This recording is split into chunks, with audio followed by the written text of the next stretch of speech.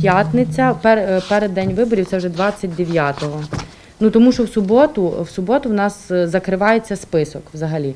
Список НСП е, неспроможних самостійно пересуватися, тобто голосуючих на дому. І відповідно такі люди, якщо вони хочуть, щоб дільнична виборча комісія, члени її прибули до них безпосередньо додому і вони там здійснили своє волевиявлення, то вони мають про це заявити до п'ятниці, щоб в суботу закрили список. Хоча в суботу так само вносяться в список люди ті, якщо є судові рішення якісь. То тоді е, дільнична виборча комісія має право в суботу це внести в список.